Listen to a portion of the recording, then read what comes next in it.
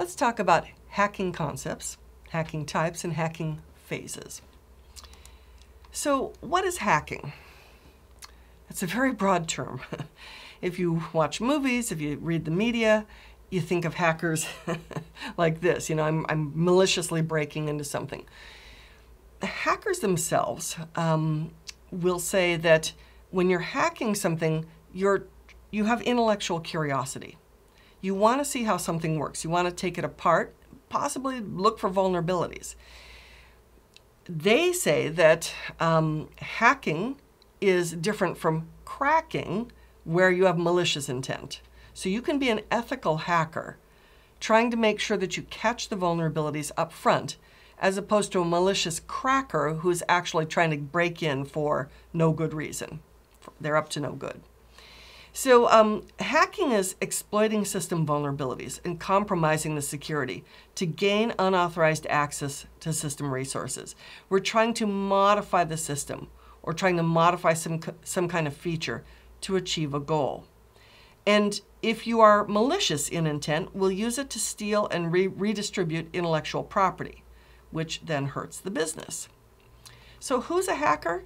Well, um, presumably somebody who has some skill with a good computer uh, and some networking skills, and um, or it could be somebody who's just a hobbyist or it could be someone who's a script kiddie who really, frankly, doesn't know what they're doing or why they're doing it or how it works. They're just taking a tool someone else has written.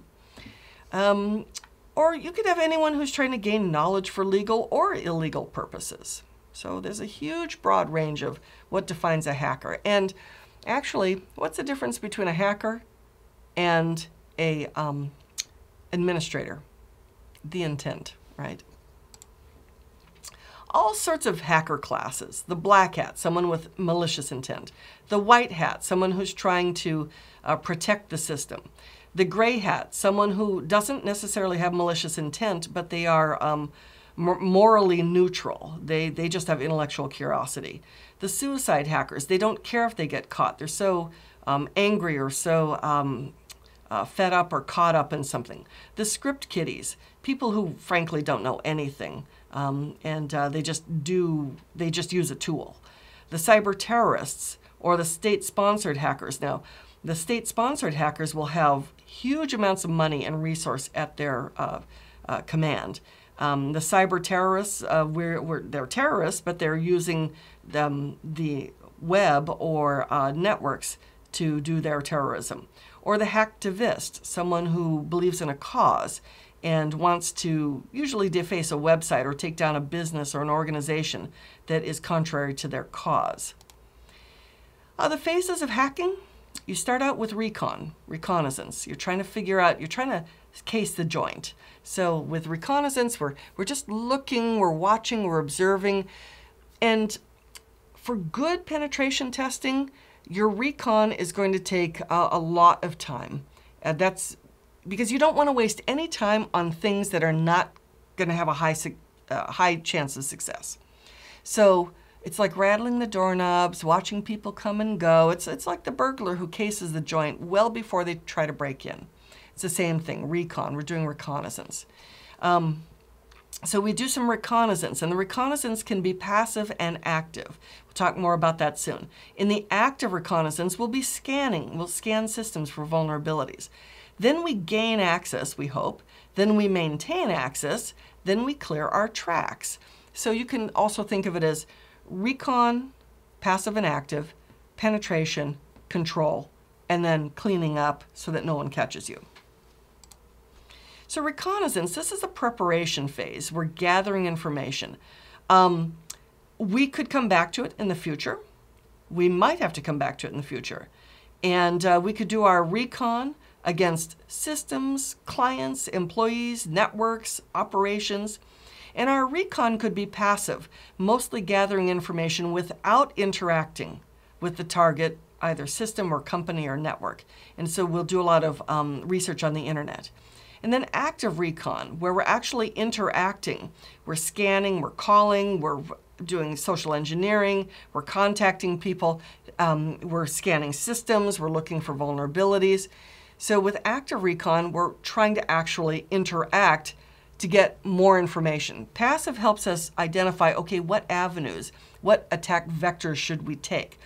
Active recon then is okay, now we're going to try these to see which, just start rattling doorknobs and seeing if windows are not secure to see which ones are the most likely way for us to get in.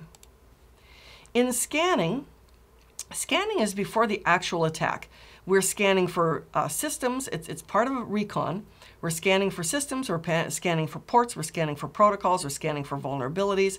We're trying to identify the way in which we're going to attack these systems and get in. Then we actually try to run the exploit. We try to gain access. So um, this is where we try to break into the operating system or the application or the network. Once we have gained access, if we need to, we'll escalate our privilege, um, either on the system or the network or on other systems. Um, and so examples, password cracking, buffer overflows, denial of service, session hijacking, just to name a few. Once we're in, maintaining access, we want to take and retain ownership. See, we don't want to have to keep on kicking in the door to get in. We'll kick in the door once, or we'll, then we'll just plant a back door, like we'll copy the key to the back door kind of thing. Or we'll open up some little window so we can get in.